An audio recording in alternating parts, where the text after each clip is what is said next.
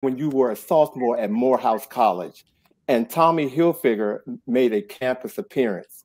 How did that connection lead into your journey of becoming VP of a multi-billion dollar of the multi-billion dollar Tommy Hilfiger brand? Yeah, that's an almost true story. Most of that is true. Um, that's why they come here to get the truth. right, right. Um, no, I went to Morehouse College and uh, was so thrilled to be there at that time. You know, it was probably I think it was the our fall semester was right after School Daze had uh, premiered, and you know, a different world was on, and it was just a hot time to be on that campus. You know, literally where both of those shows were shot, the exteriors of a different world and all the School Daze. So you know, you could you couldn't tell me nothing. I knew I was in the place to be, but I was not. Uh, I wasn't studying as much as I. Now that I'm older, I should have been. I was spending more time at Lenox Mall shopping and getting those, you know, credit cards that they give students, you know, with a 35% interest rate or whatever.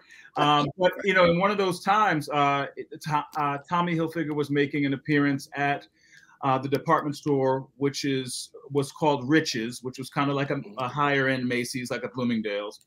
And me and my best friend went because they were giving away free duffel bags for the first 100 students who were to meet Tommy Hilfiger. Mm-hmm. And he had these signature duffel bags. Of course, we were broke.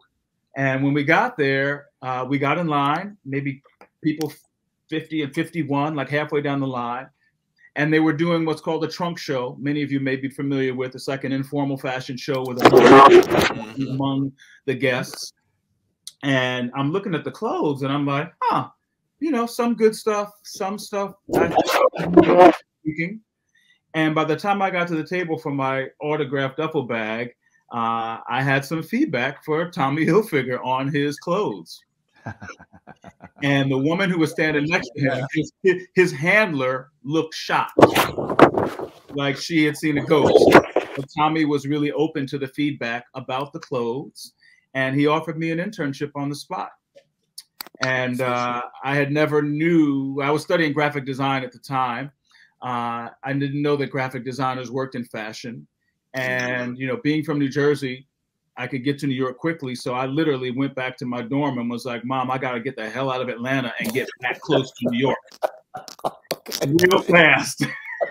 so yeah, so I, I, transferred out of Morehouse, and uh, Tommy took me under his wing as his first ever intern. Uh, I didn't know at the time that I was his first intern, but the label was relatively new. And I stayed with him for about a semester. And he said, when you get out of college, come back, you'll have a job. I wasn't sure if he was really telling the truth, but he was. I went back about a semester before graduation, and he said, uh, I can't give you a job when you graduate because I need you right now. We're growing so quickly. You can finish up school at night. So I started working for him the middle of my senior year. And I stayed for many years, uh, leaving as the VP of art direction.